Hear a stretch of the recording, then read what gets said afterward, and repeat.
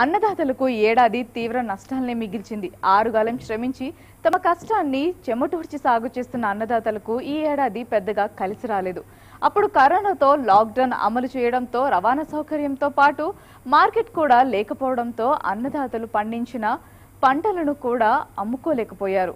ప్రస్తుతం కరోనా నుంచి బయటపడుతున్నామన్న సమయంలో మహమ్మారిలా దాపురించిన నివార్ తుఫాన్ అన్నదాతలను కోలుకోలేని దెబ్బతీసింది. పంట దిగుబడి బాగుంది. చేతికి వచ్చేసరికి ప్రతిసారి ప్రకృతి తమ బతుకులను చిద్రం చేస్తుందని వాపోతున్నారు కడప జిల్లా రాయచోటి రైతులు. అరటి రైతులు కుదేలయ్యారు. నివర్ సృష్టించిన వికృత రూపానికి ఉద్యానవన పంటలు కూకుటి వేళ్ళతో సహా నేలమట్టమయ్యాయి. కడప జిల్లా రాయచోటి నియోజకవర్గ వ్యాప్తంగా ఎక్కువగా అరటి సాగు చేస్తారు. ముఖ్యంగా వీరబల్లి మండలం గడికోట గ్రామంలో ఎక్కువగా అరటి పండిస్తారు. ఈసారి వర్షాలు సమృద్ధిగా కురవడంతో పంట కూడా ఆశాజనకంగా ఉంది. ఇంతలో రైతుల మీద పగపట్టినట్లుగా నివర్ విరుచుకుపడటంతో చేతికి వచ్చిన పంట కుంగిపోవడంతో అన్నదాతలు గోడను విలపిస్తున్నారు. గాలి వాన వచ్చి ఒక మొత్తం మొత్తం గొల్లని పెడుతుంది సార్ మయ్య మూడు ఎకరాలు వేసాం సార్. మూడు ఎకరాలు ముప్పై మూడు వేలు చెట్టు సార్. కాబట్టి బాగా అర్థగా సార్ ఇంకా పడిపోయినట్టు జనికి పనికావు సార్ నష్టమే పెద్ద చాలా నష్టం లేదు సార్ ఇదే మూడు వేల గొల్లు సార్. మూడు వేల గొల్లు అంటే మూడు మూడు బండ్లు దిగు మూడు లారీల. మూడు ఎకరాలకు రెండు లక్షలు పెట్టాను సార్ పెట్టుబడి. మార్కెట్ ఇప్పుడు కాయ బాగుంటే టన్ వచ్చి ఏడు వేలు ఎనిమిది వేలు వేస్తాను సార్. లేకంటే?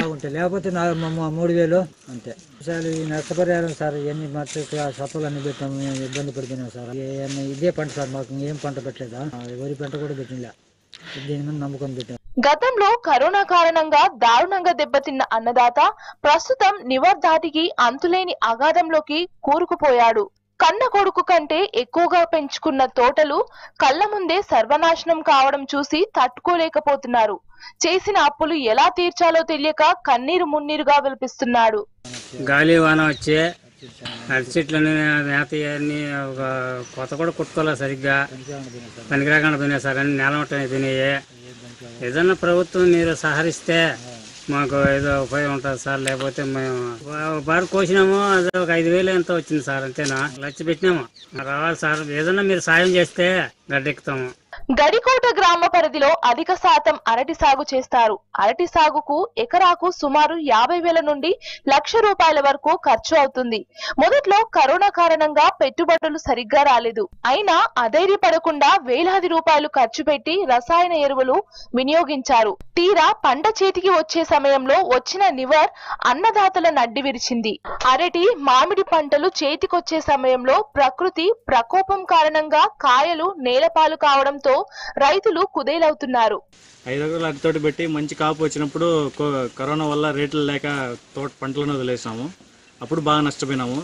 నిన్న వచ్చిన తుఫానికి తోటలో అరౌండ్ ఎనభై పర్సెంట్ చెట్లన్నీ పడిపోయినాయి. ఏర్లతో సహా పోయినాయి.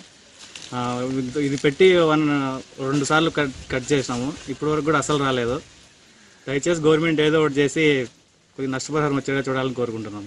ఈసారి పంట ఆశాజనకంగా ఉండటంతో పెట్టిన పెట్టుబడులతో పాటు లాభాలు కూడా వస్తాయని ఆశించారు. కానీ పంట చేతికి వచ్చే సమయంలో బలమైన ఈదురుగాలులతో నివార బీభత్సవం సృష్టించడంతో అరటి చెట్లు డెబ్బై శాతం విరగడంతో పాటు చెట్లకు ఉన్న గెలలు నేలమట్టమయ్యాయి. అష్ట కష్టాలు పడి పంటలు సాగు చేస్తున్న రైతులకు పంట చేతికి వచ్చే సమయంలో ప్రకృతి ప్రకోపానికి ప్రతి ఏడాది అన్నదాత కుంగిపోయే పరిస్థితులు దాపురించాయి. పది ఎకరాల దాకా అరటి సాగు చేసినాము. ఇందులో మార్చి నెలలో లాక్డౌన్ వల్ల చాలా తీవ్రంగా నష్టపోయినాము. అప్పుడు రేట్లు పడిపోయి తర్వాత ఈ మధ్యకాలంలో కొంచెం రేటు ఆరు రూపాయలు ఏడు రూపాయలు వేస్తున్నారు ఏదో కొంచెం వస్తుంది అనుకున్న టైంలో నవంబర్ ఇరవై ఆరో పెనుగాళ్ళకు దాదాపు అరటి అంతా కూడా నేల కొరిగి పంట చాలా నష్టమైంది.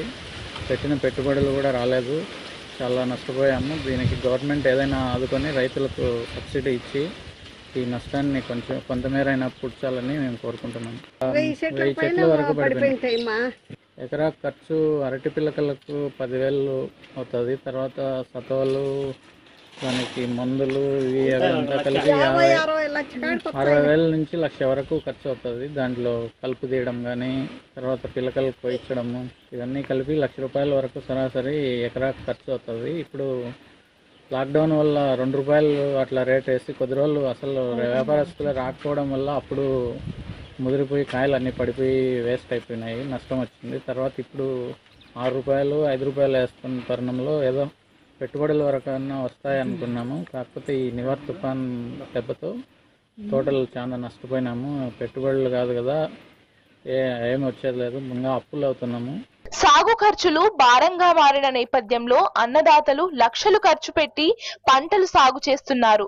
ప్రస్తుత పరిస్థితుల్లో అన్నదాతకు కనీసం పెట్టిన పెట్టుబడి ఖర్చులు కూడా రాని దుర్భర పరిస్థితులు నెలకొన్నాయి. ప్రభుత్వం ఉదారంగా సాయం అందించాలని లేకుంటే అప్పుల ఊబిలో కూరుకుపోవాల్సి వస్తుందని కర్షకులు వాపోతున్నారు. పాలకులు ఆలస్యం చేయకుండా పంట నష్టపోయిన వారికి పరిహారం ఇవ్వాలని అన్నదాతలు కోరుతున్నారు.